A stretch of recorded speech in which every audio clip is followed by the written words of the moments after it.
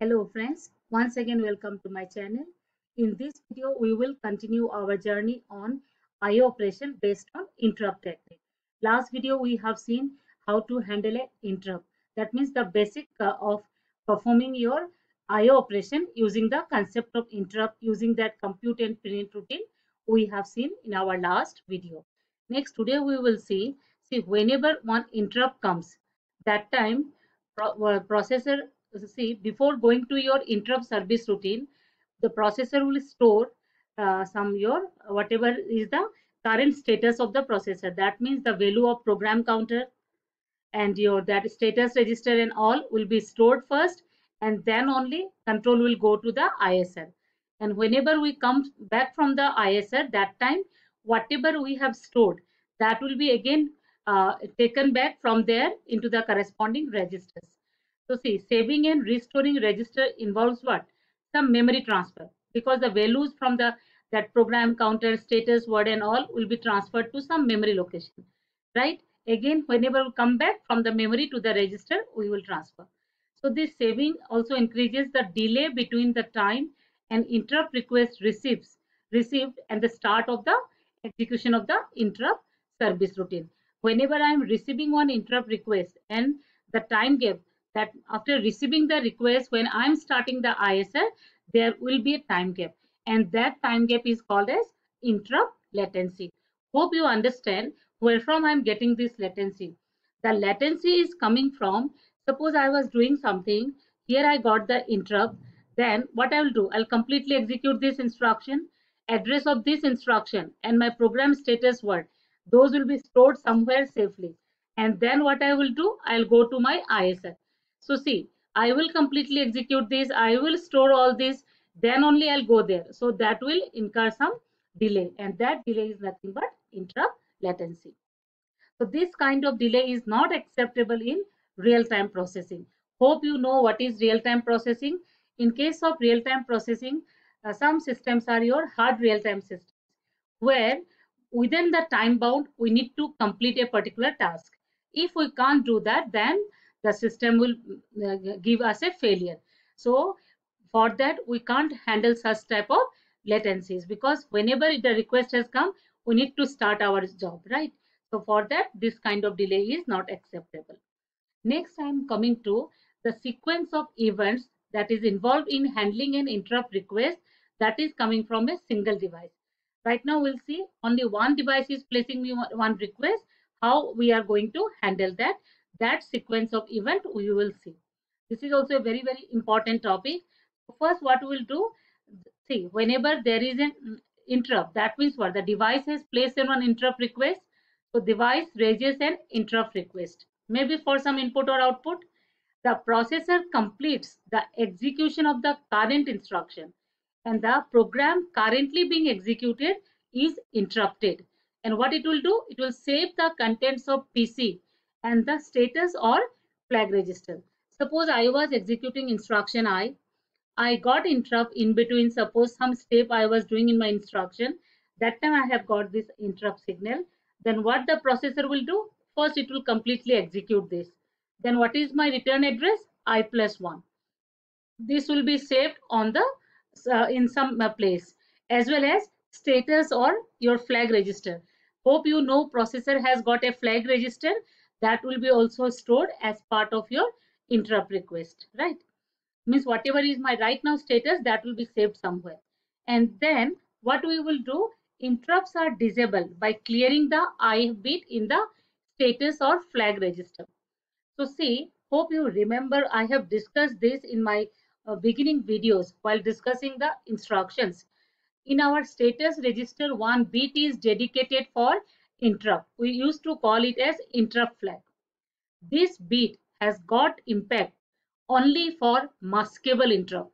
Hope you remember this word maskable interrupt. Maskable meaning is we can disable them. So if this bit is 1, then interrupt will be enabled. Interrupt service is enabled. If this bit is 0, interrupt service is disabled. So if I don't want to have an interrupt, I'll make this IF equal to 0. And how can I do that?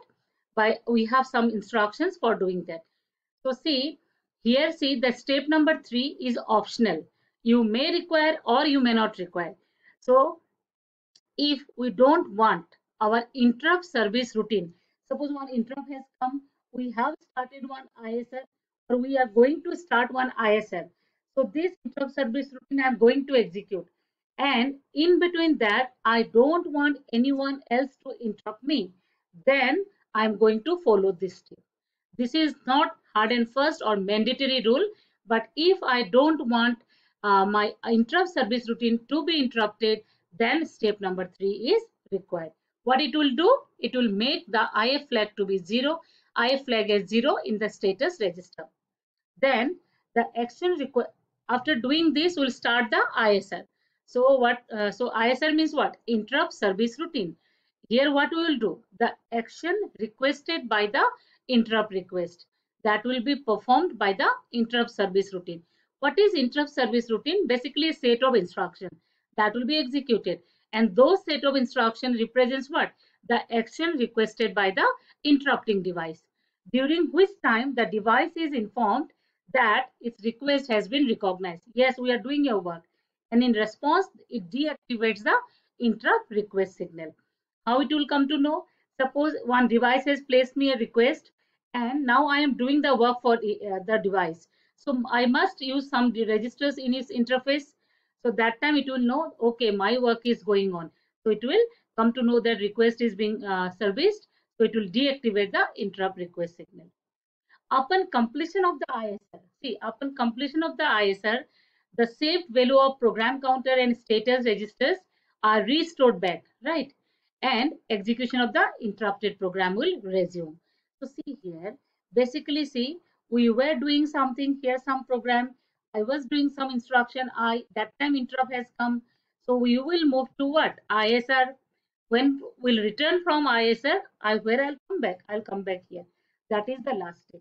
That means upon completion of the interrupt service routine, we will come back to the instruction that we need to execute next for the interrupted program, right? And how do I how do I can come back to this by getting back my value of PC and the status register. So that we will do and we'll start continuing execution from this, right? So hope these steps are clear. This is very, very important from exam point of view. See, see the sequence of events. So first device will place the request. Then what you will do, you will completely execute the instruction. Whatever you are doing, you'll keep a bookmark that where means need to come back. After that, you disable the interrupt service. You don't want to be interrupted anymore. Then you start your ISR, complete the job, and then after completion, come back to the position from where you have gone to the interrupt service routine. That is the basic steps. You so this is how also we can represent our sequence of events. Hope this is clear. Then next I am discussing interrupt hardware. Means how we are going to uh, handle the interrupt, what uh, support we are having in the system for that. So see, in your processor, there is one single pin or one single signal is there to handle interrupt. That is INTR line, right? It is a active low signal. That means when the logic value is 0, the signal is active. So inside the processor, there is only one line to handle the interrupt. But again, what we know, there are many more sources of interrupt. There are many devices are there, IO or peripheral devices are there. They may require processor service. So they may place a interrupt request to the processor. So multiple sources of interrupt is there. But processor has got only a single line to handle the interrupt. So how it is going to do that? What it will do on the processor's single interrupt request line, we are going to connect all the devices that can place a interrupt request to the processor, right? So here see, these are representing the devices that can place a interrupt request, right? Right now see, all the devices are keeping their switches as on. See this connection switches are in the ground, right?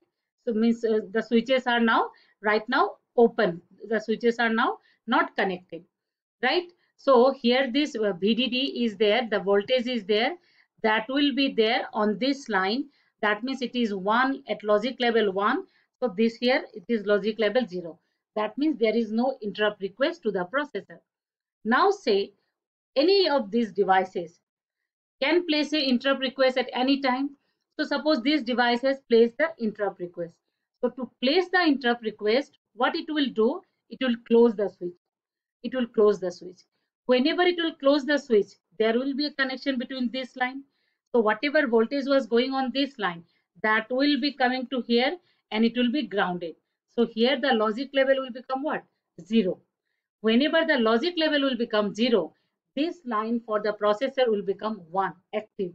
That means there is a interrupt request to the processor, right? Now see, you have understood how can I get one interrupt request from multiple sources via a single line. That is done. Processor has come to know, yes, there is an interrupt request. Now the point is to do the request, to do something, to do the ISR, I need to know who has placed the request there are n sources of interrupt you can see that so next point is who has placed the request right so that we will see so see here what we are doing is here INTR line is there this INTR line is connected by the or plus sign right that means what if this is one or this means any one of them has placed the request then this line will become active that means there is a interrupt right So anyone placing the request, that means there is a interrupt to the processor. And this line is what? Active low. Then next we will see how to address. That means how to find out that who has placed the request. For that, what to do, that we will see in our upcoming videos. Hope up to this much is clear regarding your interrupt. Basically, what I have discussed here, three things we have discussed, interrupt latency, the uh, set of actions we need to carry out in response to an interrupt then um, multiple sources of interrupt is there. Processor has got only one line. Then how we are going to work in that situation that we have seen. So till then so this much is there in this video and hope you are getting from my explanations. And if so then please do not forget to like my videos and subscribe to my channel. Thank you